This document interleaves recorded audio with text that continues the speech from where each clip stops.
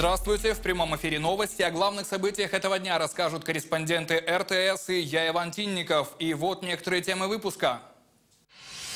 Основную часть строительных и отделочных работ на возведении радиологического корпуса в Абакане планируется завершить до конца года. У нас на данный момент опережение 10 дней. То есть это и в финансовом плане, и план график производства работ четко отслеживаем. Сразу пять абаканских пассажироперевозчиков подняли цену на проезд в автобусах. Билет стоит теперь 22 рубля. Некоторые заходят и просят, давайте, мне не хватает денег, я... или кто-то даже дает иногда бывает. Жизнь с приключениями. Заядлые путешественники расскажут, как увидеть мир и не разориться. Сингапур, Китай, э, Индонезия, Малайзия, Вьетнам, Гонконг, Макао. Возведение радиологического корпуса идет с опережением графика. Сегодня на строительной площадке побывал руководитель профильного министерства Сергей Новиков. Подробности в материале Оскара Артамонова. Радиологический корпус – один из самых ожидаемых объектов здравоохранения Хакасии. Ведь по подсчетам специалистов, порядка 80% больных нуждаются в лучевой терапии. А сегодня им приходится отправляться за ней в другие регионы. Тем временем строительство нового корпуса онкодиспансера идет ударными темпами. У нас на данный момент опережение 10 дней. То есть это и в финансовом плане, и план график производства работ четко отслеживаем. Поэтому здесь по этому объекту никаких проблем мы не видим. Сейчас на стройплощадке трудится порядка 50 человек. Общая стоимость радиологического корпуса оценивается в 1 миллиард 309 миллионов рублей. В этом году планируется освоить 200 миллионов на строительно-монтажные работы и 205 миллионов на оснащение оборудованием. Само здание будет состоять из двух корпусов. На сегодняшний день уже отлиты стены первого блока, в котором разместят линейный ускоритель. Параллельно строители перекрывают цокольный этаж административного корпуса. Толщина стен 2 метра, толщина перекрытия 2 метра. Это дополнительная усиленная опалубка, дополнительные стойки.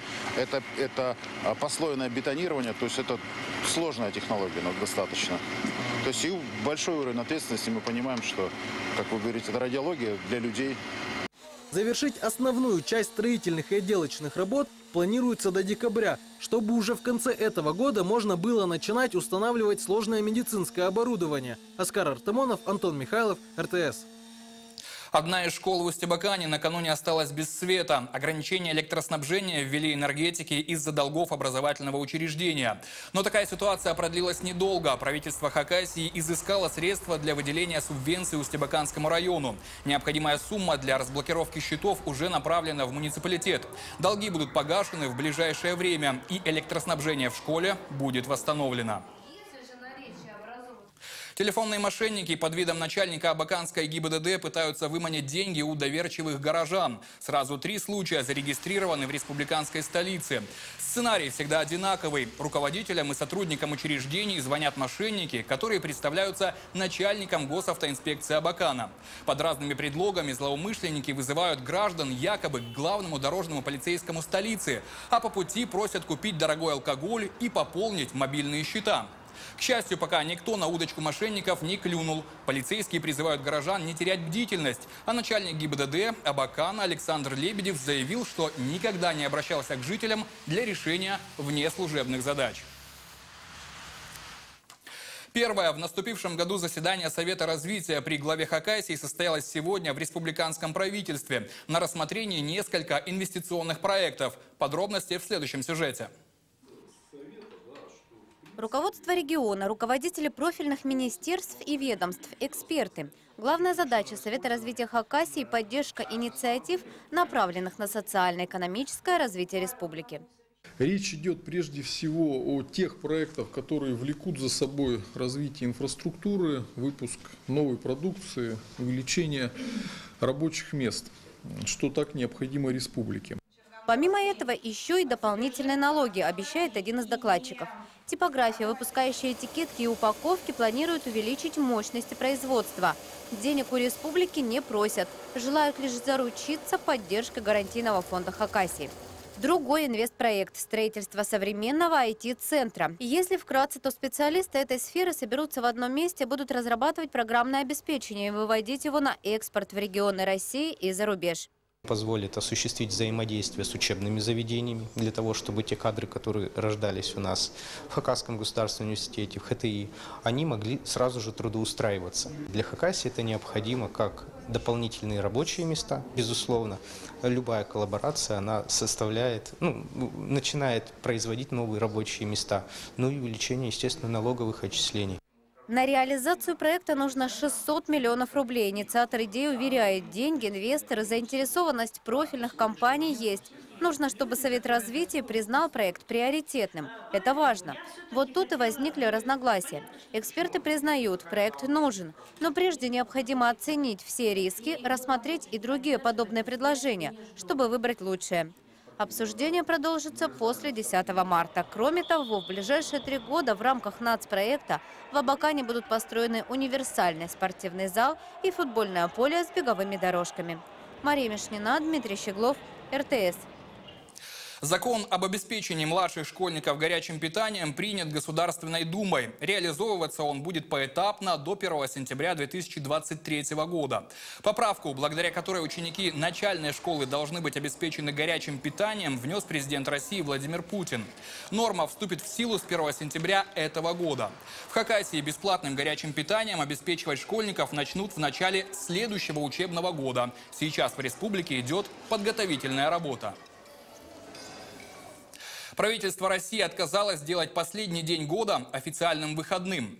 Напомню, предложение о дополнительном отдыхе внесли депутаты Госдумы. Парламентарии рекомендовали один из выходных дней календарного года переносить на 31 декабря, если он приходится на обычный рабочий день.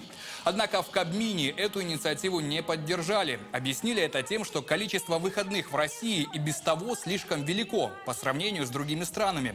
В результате решение о том, работать или отдыхать в последний день года будут принимать, как в 2019 на региональном уровне. В Абакане сразу пять пассажироперевозчиков подняли цены на проезд на 2 рубля. Катерина Ярушина узнала, на каких маршрутах можно еще проехать по старой цене. 10 и 11 маршруты уже перешли на новую стоимость проезда в 22 рубля. Еще в январе пассажироперевозчики предупредили. Вырастет цена на газ, а значит и билеты подорожают. Еще в стоимость вкладывают расходы на ремонт, зарплату. Все, все же дорожает. И горючее, и запчасти, и масла. Зарплату требуют водители, кондуктора. Все, стоянка, уже не автобусы. Ну, естественно, мы крутимся, стараемся чтобы удерживать цену газа, пытаемся договариваться. Галина Кожевникова в своем автопарке имеет больше 10 единиц техники. Она одна из тех, кто за проезд просит еще 20 рублей. Предприниматель рассказывает, сейчас на рынке 8 заправщиков газа. И у каждого своя цена. Ее поставщик обеспечивает топливом еще из старых запасов.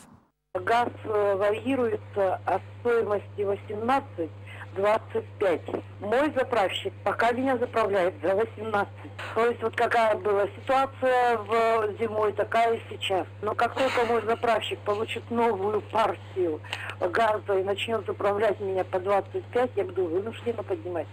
Ценники подняли пока 5 пассажироперевозчиков, так что в целом у населения есть выбор среди нерегулируемых маршрутов.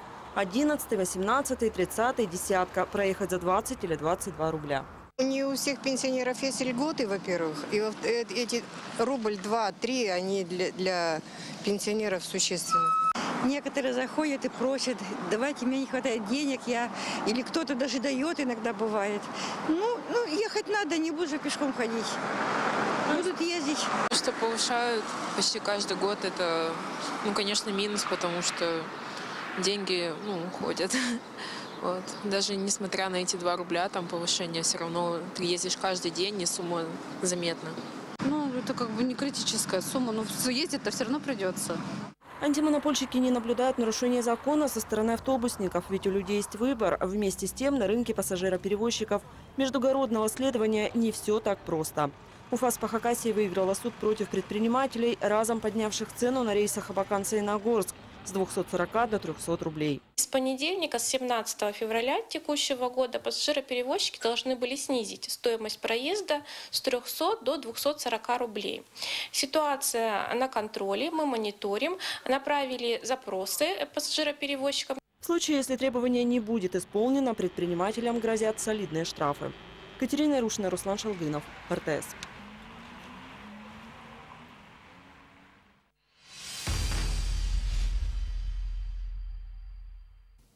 В Абазинском психоневрологическом интернате новый директор. Им стала Мария Чебадаева, которая в течение последних 10 лет возглавляла аналогичный интернат в селе Бельтырском. Ранее Марина Николаевна работала психологом в Абаканском управлении социальной поддержки населения. Жительница Абакана стала жертвой назойливых коллекторов. Женщину изводили звонками по четыре раза в день. Как рассказали в службе судебных приставов, жертва произвола коллекторского агентства даже не была должницей. Кроме того, по действующему закону количество звонков строго ограничено. Жительница Абакана обратилась за помощью к приставам. Был составлен протокол и звонки прекратились. А коллекторам теперь придется оплатить штраф в 50 тысяч рублей. Маленькая Лиля нуждается в нежных маминых руках. Позитив малышки и любовь ко всему миру просто не могут остаться незамеченными. Сегодня наша традиционная рубрика «Жду маму» расскажет об этой чудесной девочке.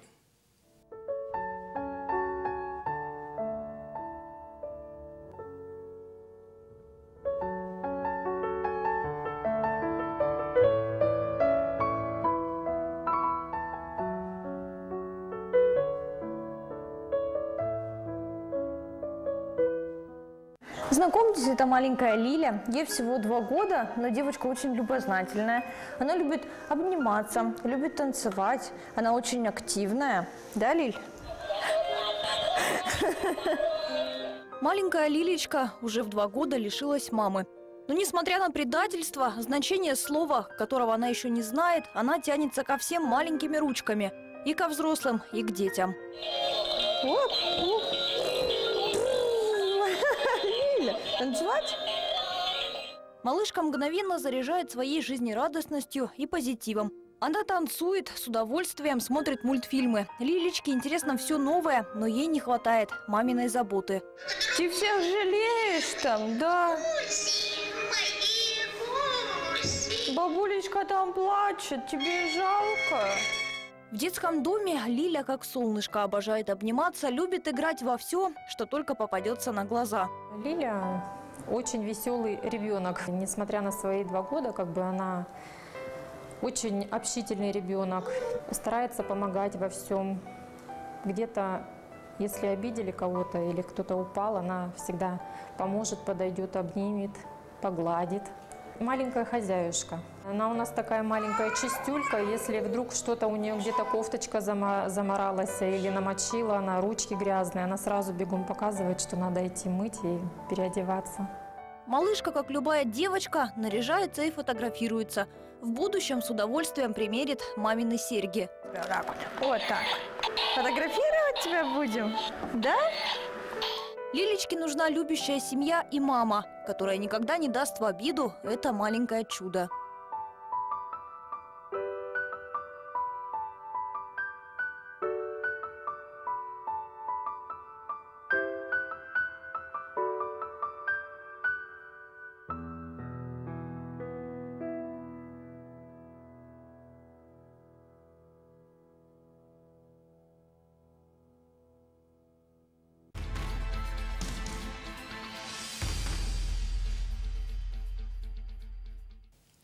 Сегодня министр экономического развития Хакасии отчитался перед правительством об успешной реализации нацпроектов за минувший год. Республика приняла участие в четырех проектах – демография, здравоохранение, безопасные и качественные дороги и образование. В частности, в прошлом году построили 11 детских садов, 4 школы, 2 дома культуры. Отремонтировали 17 километров дорог республиканского и местного значения. Приобретена лесопожарная техника и медицинское оборудование. Начато строительство Туимского психоневрологического интерната и жилого многоквартирного дома в поселке Майна. Реализация нацпроектов продолжится и в текущем году. Полицейские продолжают розыск 23-летнего Сергея Стальмакова из Устебакана. 9 февраля парень ушел из дома на улице Спортивной. Рост 175 сантиметров, среднее телосложение, голубые глаза, темные волосы. На правой лопатке большой шрам, на правой руке татуировка с надписью «За вас». Есть татуировка и на ноге. На лице две большие родинки. В день исчезновения Устебаканец был одет в черные штаны и кроссовки, серую кофту, куртку темно-синего цвета. При себе может иметь паспорт, армейский жетон с личным номером ЕХ-809-345.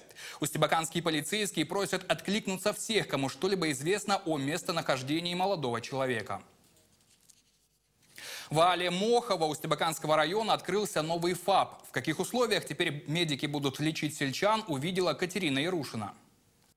Сегодня и правительство республики, и федеральные власти озаботились реформой первичного звена. И будем надеяться, что в ближайшие годы у нас э, система здравоохранения кардинально поменяется в лучшую сторону. Ну, а сегодня я предлагаю порадоваться вот этому событию.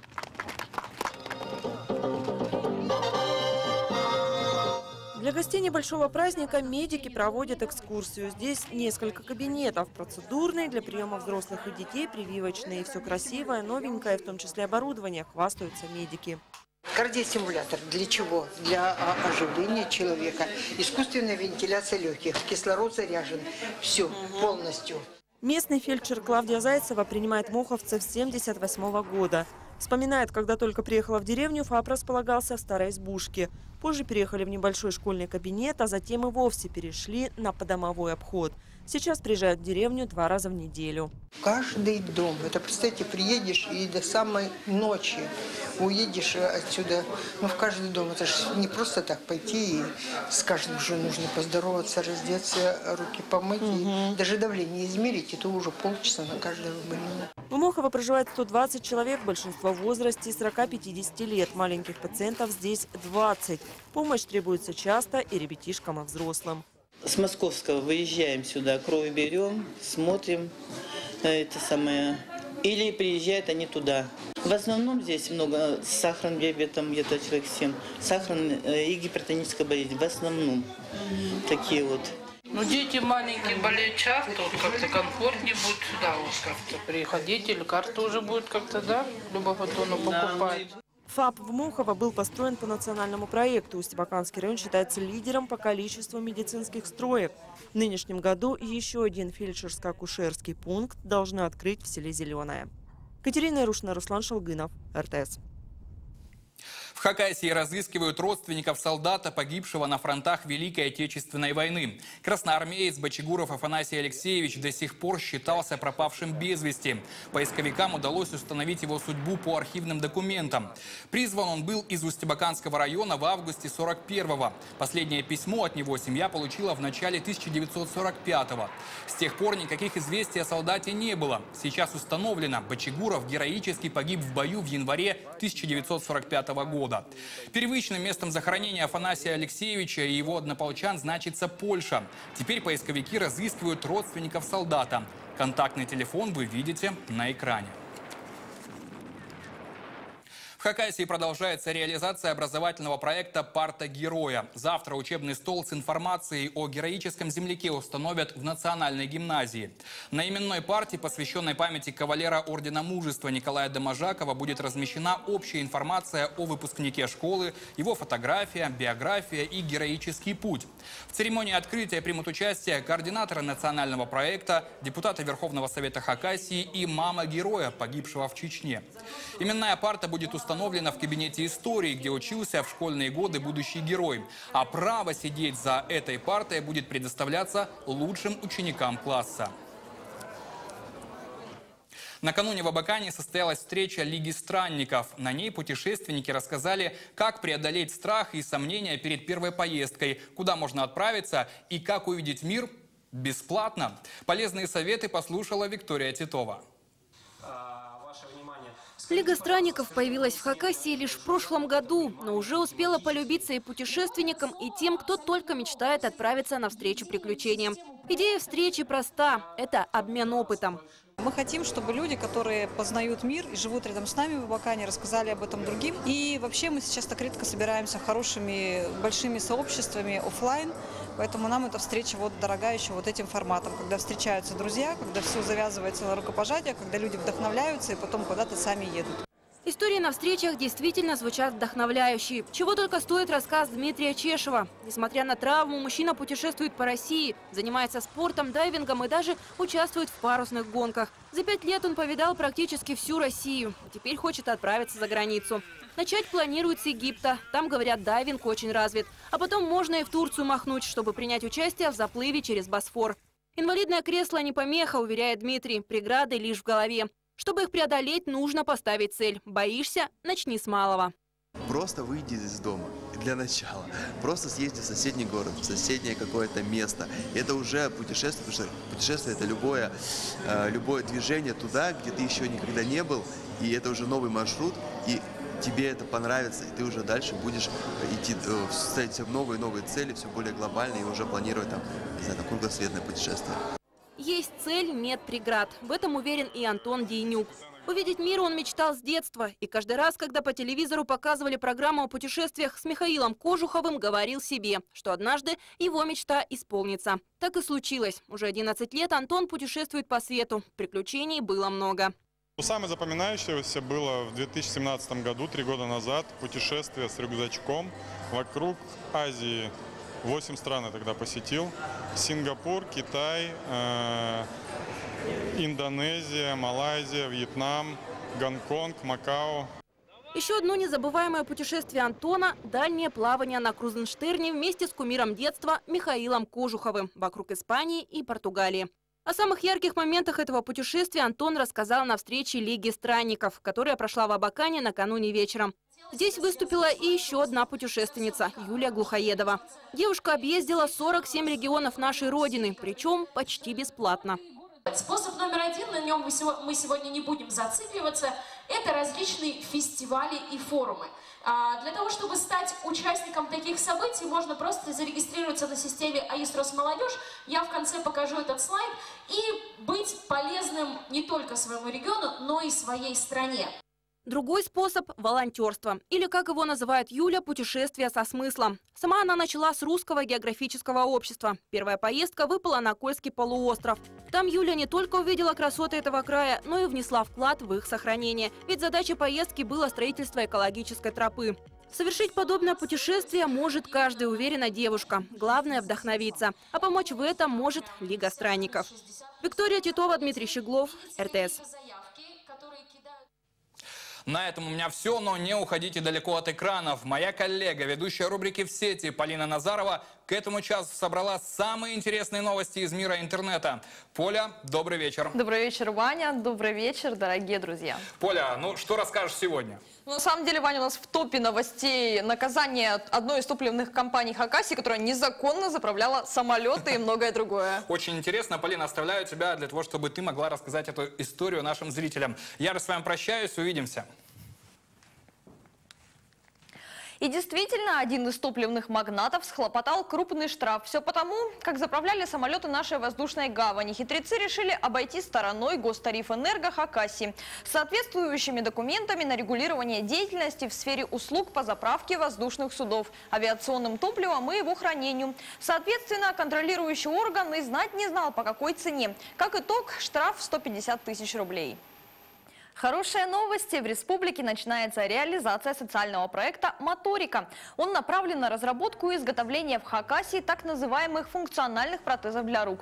Это обеспечит людям с ограниченными возможностями практически полноценную жизнь. Для детей цветные протезы, к которым можно прикрепить смартфон или пульт управления и даже скакалку. А вот взрослым, которые обучаются пользоваться такой помощницей, это дает возможность, скажем, красить ногти или вдевать нитку в иголку. Кстати, получить такой протез можно и за счет счет государства. Нужно обратиться в протезную компанию и собрать необходимые документы.